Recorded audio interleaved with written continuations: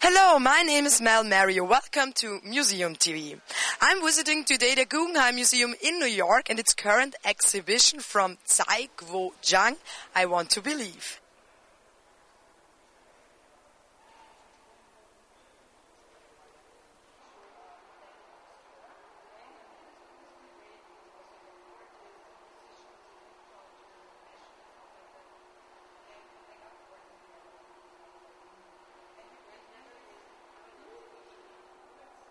The main message is that Cai is an artist that is profoundly postmodern and profoundly an artist of the globalized era.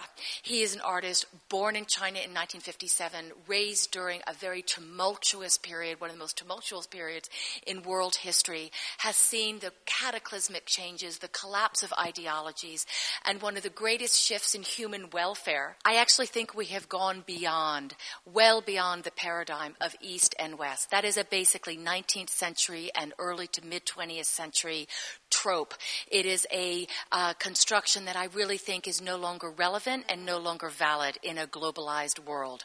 However, I think it is extremely important that curators and scholars bring to their study of contemporary art created by Asian born artists a certain expertise, a certain political understanding of the conditions from which that art arose, an understanding of the intellectual and cultural histories of the uh, modern and contemporary periods of those countries, those non Western countries. I don't think we need to separate it out as a versus, as a East versus West, but what we need to do is understand many of the shared concerns, but the different languages the different dialects, uh, the different localities of modernity and contemporary art happening in non Western centers around the world. Instability, change as constant, the idea that you have to destroy in order to create, the idea of uh, contradiction, uh, the idea that history can still be a valid source of artistic innovation, but in a space that's completely collapsed eclectic borrowings from ancient philosophy, from Maoist tactics, from contemporary art, from popular science.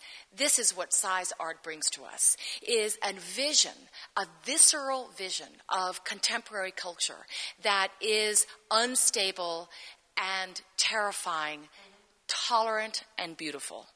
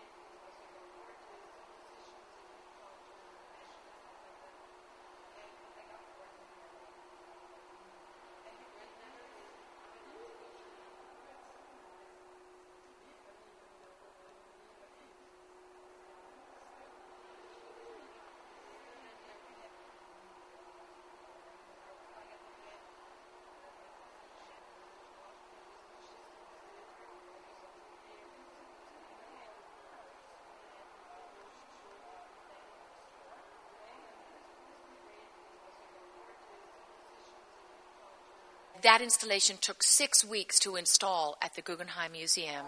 It is seven real cars suspended from the atrium ceiling, pierced with LED lights to simulate explosion, to mm-hmm. simulate fire explosion. And it is a representation, a very artistic reinvention and response to something we see every day in our newspapers, which is car bomb explosions. He is taking something that is uncomfortable. He's taking something that is threatening and terrifying and a technology of warfare today in the 21st century and representing that to us in a spectacle that forces us to think about something we experience every day in the news and forcing us to a place of contemplation, forcing us to deal with that issue, which is so dominant in our political and cultural lives today.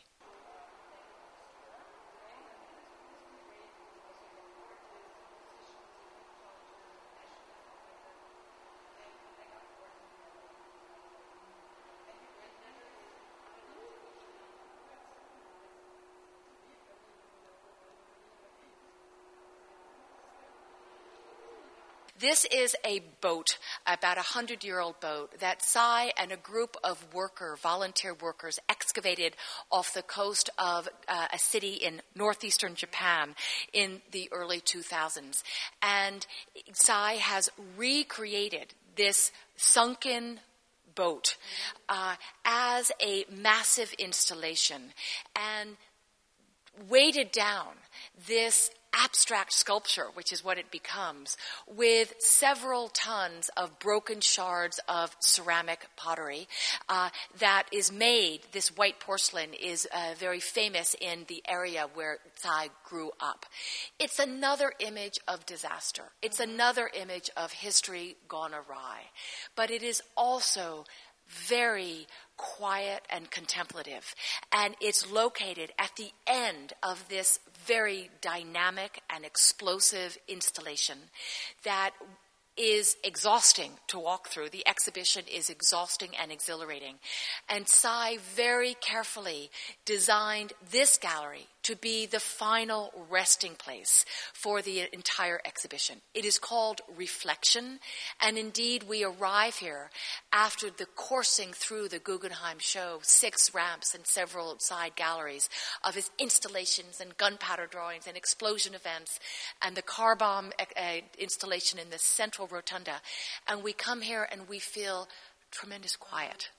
We do feel reflection. I love this work.